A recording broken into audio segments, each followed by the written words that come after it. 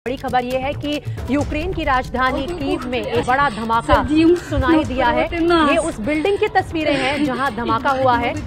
और इन तस्वीरों को देखिए काफ़ी धुआँ है इस वक्त धमाके के बाद और ये धमाका यूक्रेन की राजधानी कीव में बताया जा रहा है। एक बिल्डिंग के एक बहुत बड़ा हिस्सा जो है इस वक्त क्षतिग्रस्त दिखाया जा रहा है। क्या ये किसी मिसाइल से हमला हुआ है? किस तरह की जानकारी है? इस वक्त जो इनिशियल डिटेल्स आ रही हैं, शुरुआती जानकारी जो आ रही है, उसमें सिर्फ़ ये तस्वीरें सामने आई हैं। और किसी नागरिक ने ऐसा लगता है कि किसी दूसरी बिल्डिंग से इस वीडियो को शूट किया है। और दिखाया जा रहा है कि किस तरह से अब ये जंग, ये युद्ध राजधानी के दिल तक जा पहुँचा है। राजधानी यूक्रेन की कीव उसकी एक बिल्डिंग के एक हिस्से को क्षतिग्रस्त दिखाया जा रहा है और वहाँ पर यह धमाका हुआ है। अब से कुछ देर पहले। कर्ण दानवीर मेरे साथ है स्टूडियो में। कर्ण दानवीर क्या किस तरह का धमाका आपको लग रहा है? कोई मिसाइल अटैक है? क्या लग रहा है? सबसे पहले तो बड़ा ही डिस्ट्रेसिंग विजुअल है और अगर आप बिल्डिंग को देखें तो ये रेसिडेंशियल बिल्डिंग नज़र आ रही है वही समझ में आ रहा है। और जिस तरीके से ये ब्लास्ट दिख रहा है मेरे को शायद ऐसा लग रहा है कि जैसे ये बैटल क्लोज इन हो रही है यूक्रेनियन स्नाइपर्स ज़रूर पोजीशन लिए होंगे हाई राइज के ऊपर। और कहीं ना कहीं हो सकता है कि उस तरीके की गतिविधि रशियंस को नज़र आई हो। तो ये टैंक का डायरेक्ट हाई एक्सप्लोजिव फायर भी हो सकता है और आप जो कह रही हैं कि मिसाइल भी हो सकती है। तो होने को तो ये दोनों दोनों चीज़ें हो सकती हैं बट मोस्ट लाइकली जो लड़ाई के अगर पॉइंट ऑफ़ व्यू से देखा जाए तो ये हो सकता है कि यूक्रेनियन स्नाइपर्स ने यहाँ कोई पोजीशन ली हो और उसको न्यूट्रलाइज करने के लिए टैंक से डायरेक्ट हिट इस इलाके इस बिल्डिंग को किया गया है। उस कमरे के अंदर की भी तस्वीरें सामने आई हैं कर्नल दानवीर जहाँ पर ये धमाका हुआ। ये देखिए ये तस्वीरें उस कमरे के अंदर की हैं जहाँ पे एक्सप्लोजन हुआ और उसके बाद से वो क्षतिग्रस्त हिस्सा दिखाया जा रहा है उस बिल्डिंग का। इनफैक्ट ये वो कमरा कमरे के साथ वाला कोई ऐसा कमरा है क्योंकि जिस कमरे पे डायरेक्ट हिट होगा वहाँ तो एकदम ब्लैकआउट हो जाएगा। बहुत ही इमेंस एक्सप्लोजन होगा। अगर आप उस बिल्डिंग को दोबारा ध्यान से देखें तो दो चार फ्लोर्स को उसने डैमेज किया है। तो it is not a small explosion it is a very strong heavy explosion हालात बहुत गंभीर हैं और जरा इस वीडियो को आप सुनिए इसमें किसी की आवाज़ भी आ रही है जिसने शायद दूसरी बिल्डिंग से इससे रिकॉर्ड किया है जब ये धमाका हुआ। और देखिए किस तरह से अब राजधानी में ये धमाके सुनाई दे रहे हैं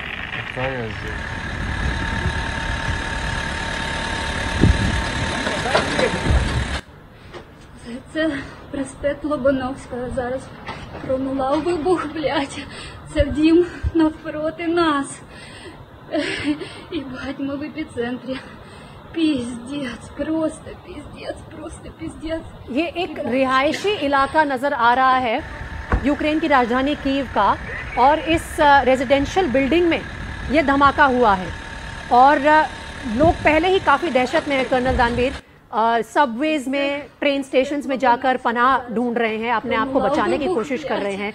इस बीच मैसेज uh, बिल्कुल साफ़ है कर्नल दानवीर की यहाँ रहना सुरक्षित नहीं है। एब्सोल्युटली और ये जो महिला जिसकी आवाज़ हम सुन रहे हैं ये कितनी दहशत में है क्या कह रही है ऑफ़ कोर्स वो समझ में नहीं आ रहा लेकिन बहुत भारी दहशत में लग रही है वो।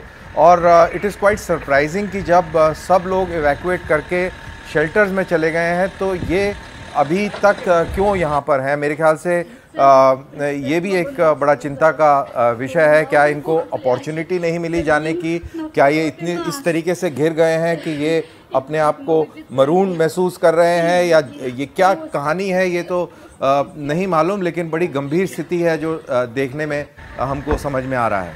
इस रिहायशी बिल्डिंग के कम से कम पाँच फ्लोर साफ़ तौर पर क्षतिग्रस्त नज़र आ रहे हैं और उम्मीद हमें यही है कि यहाँ से लोगों को पहले ही निकाल लिया गया था और सुरक्षित जगह पर पहुँचा दिया गया था। लेकिन इवैक्यूएशन की ज़िम्मेदारी ऐसे समय में कर्नल दानवीर कौन लेगा? खुद ही जो राष्ट्रपति हैं, वो इधर उधर से अपने सेल्फी वीडियो शूट करके भेज रहे हैं, कह रहे हैं कि हमने घुटने नहीं टेके हैं। लेकिन हालात जो है, नज़र आ रहे हैं सबको। देखिए, जैसा कि आप बता रही हैं कि ये building most probably already evacuated है तो यहाँ पर जिम्मेवारी जो भी कोई अथॉरिटीज़ होंगी लोकल अथॉरिटीज़ या लोकल एसोसिएशंस होंगी, उन्होंने इनिशिएटिव लेके इवैक्यूएशन किया होगा। और अगर ये बिल्डिंग फुल्ली इवैक्यूएटेड है तो ये एक तरफ़ इशारा ये कर रही है कि इस इवैक्यूएटेड बिल्डिंग का इस्तेमाल शायद यूक्रेनियन फोर्सेस सर्वेलेंस के लिए या स्नाइपिंग के लिए कर रही होंगी। ऐसा हो सकता है। तो इस वक्त ये बिल्कुल दिल दहला देने वाली तस्वीरें सामने आई हैं। यूक्रेन की राजधानी कीव से एक इमारत में धमाके की ये तस्वीरें हैं। कम से कम पाँच फ्लोर इस इमारत के क्षतिग्रस्त हुए हैं और लोग पूरी तरह से दहशत में जिस तरह की इस वीडियो पर आवाज़ आ रही है उस औरत की जिसने ये वीडियो शायद बनाया है कांपे हुए हैं लोग। उन्हें नहीं पता कि कौन सी जगह आज सुरक्षित है। यूक्रेन में यूक्रेन की राजधानी में कहाँ वो जाएँ, पनाह लें और अपने आप को, अपने परिवार को, अपने सामान को, अपने लोगों को बचाएँ। ये वॉर जोन है और युद्ध की स्थिति लगातार गंभीर होती जा रही है। आज तीसरा दिन है इस युद्ध का। दो तस्वीरें आपके सामने आ रही हैं। युद्ध, ये जो धमाका हुआ है, उस बिल्डिंग की तस्वीरें हैं बाहर से और अंदर से भी आप देखिए। एक वीडियो सामने आया है, शायद किसी फॉर्मर डिप्लोमेट पिनाक रंजन चक्रवर्ती जी के पास चलते हैं वो भी हमारे साथ लगातार लाइव जुड़े हुए हैं पिनाक रंजन जी ये देखिए तस्वीरें जिस तरह की आ रही हैं ये जिसे बोलते हैं कि एक नाइट है। और थोड़ी देर पहले जब हम एम्बेसडर वोरा से बात कर रहे थे वो कह रहे थे कि नागरिक हमेशा कोलेट्रल डैमेज बनते हैं।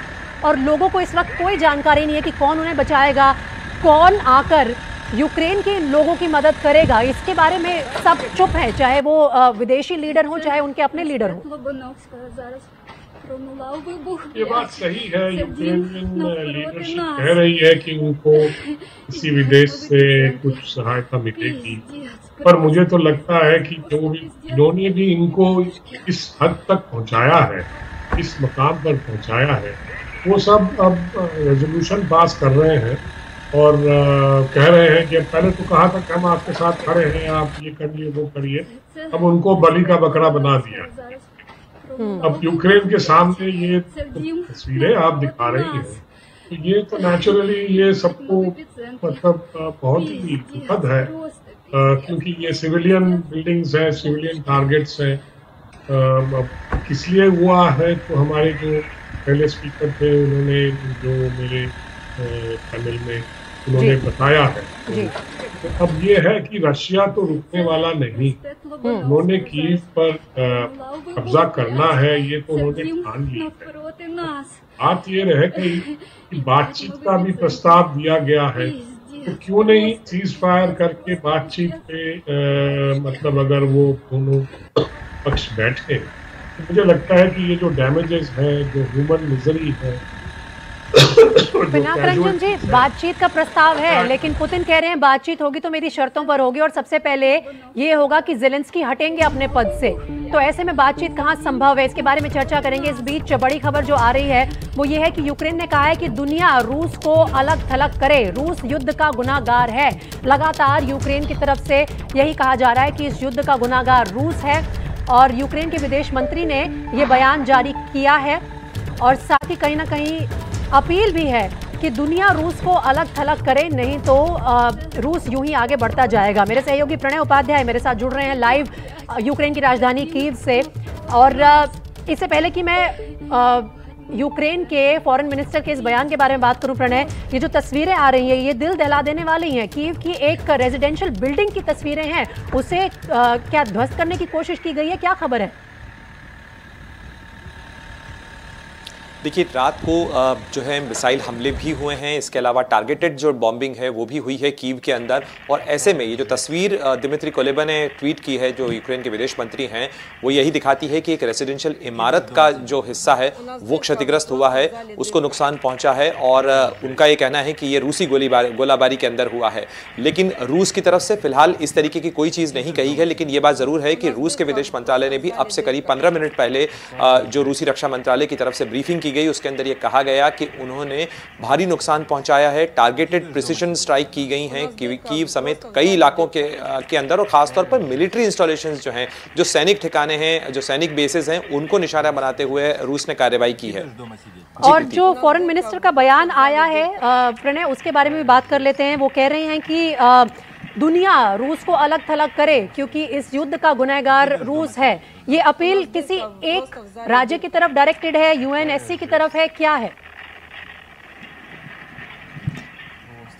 देखिए, निश्चित रूप से इस समय जलेंसकी की सरकार और उनकी पूरी टीम इस चीज़ को करने में लगी है, इस चीज़ को दिखाने में लगी है कि दुनिया का समर्थन उनके पास में है, वो दुनिया से गुहार लगा रहे हैं। लेकिन जो वस्तु, जो वास्तविक स्थिति है प्रीति, ज़मीन पर जो स्थिति है, उसमें फ़िलहाल यूक्रेन और यूक्रेन के लोग, यूक्रेन की सेना अलग थलग और अकेली नज़र आ रही है, जहाँ तक रूसी कार्रवाई का सवाल है। रूस ने जिस तरीके से इस पूरे ऑपरेशन को अंजाम दिया अगर आप देखें, लगभग दो तिहाई हिस्सा यूक्रेन का रूस से घिरा हुआ है और रूस ने लगभग तीन तरफ़ से हमला किया है। तीन तरफ़ से उसने इस सैनिक ऑपरेशन को अंजाम दिया जिसमें बेलारूस की तरफ़ से भी है क्राइमिया की तरफ़ से भी है और डॉनबास का जो पूरा इलाका लोहानस और दानियास्क है उसके साथ भी जो रशियन फोर्सेज हैं वो आगे बढ़ी हैं। तो यानी ये जो पूरा ईस्टर्न सेक्टर है वो तो था ही सही लेकिन नॉर्दर्न और, और जो साउदर्न सेक्टर है उससे भी रशियन कार्रवाई शुरू हुई है।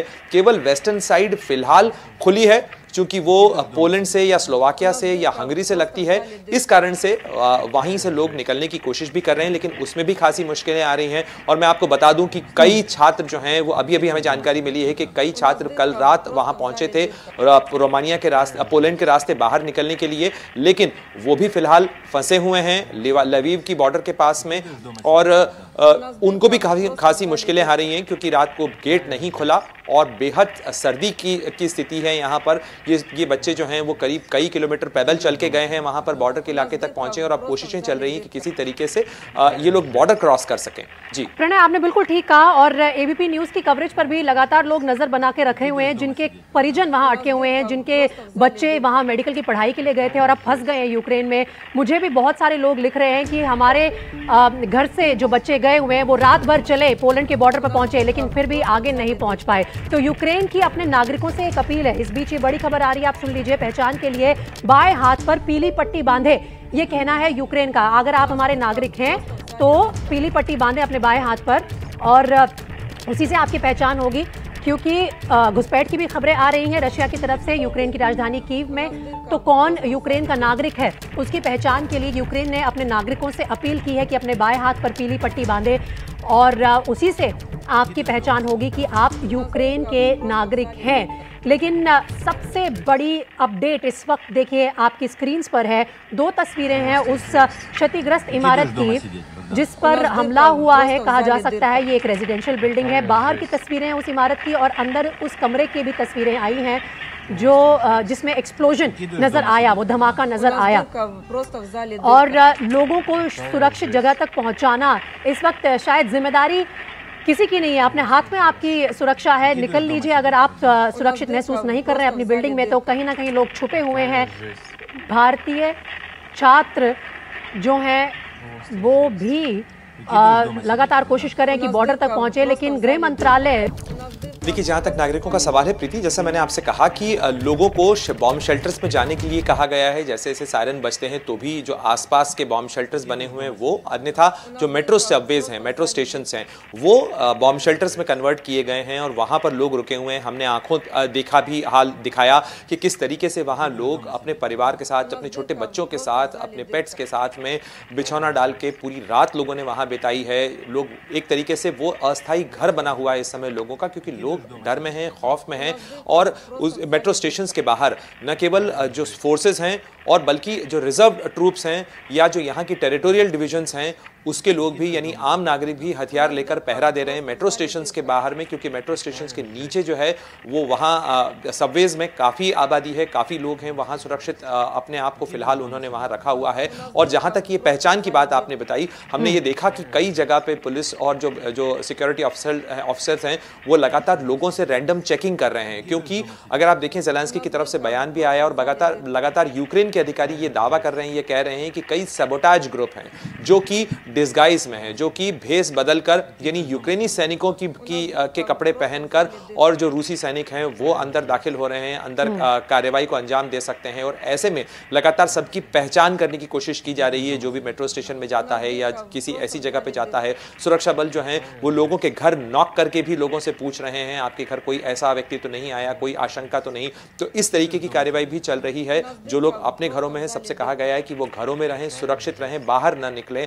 और उसके साथ साथ जो बाहर लोग हैं उनकी भी पहचान सुनिश्चित करने की कोशिश की जा रही है। हम लोग भी जब ट्रैवल कर रहे थे तो हम लोगों से भी जानकारी ली गई पूछा गया कौन है कहाँ जा रहे हैं क्या कर रहे हैं और जल्दी से जल्दी पहुँचने के लिए कहा गया कि सुरक्षित जगह पर पहुँच जाएँ। तो इस तरीके की अफरा तफरी आशंका डर और और सुरक्षा एहतियात के जो भी मुकम्मल इंतज़ाम कोशिश हो सकती है वो करने की की जा रही है। प्रणय इस वक्त हर कोई यही कह रहा है कि आप सुरक्षित रहिए। मैं मानती हूँ कि ये कहना बहुत आसान है लेकिन उन लोगों को क्या जो इस वक्त दहशत में है। और यूक्रेन में मौजूद है की जो यूक्रेन की राजधानी है, वहाँ की तस्वीरें हमने आपको दिखाई।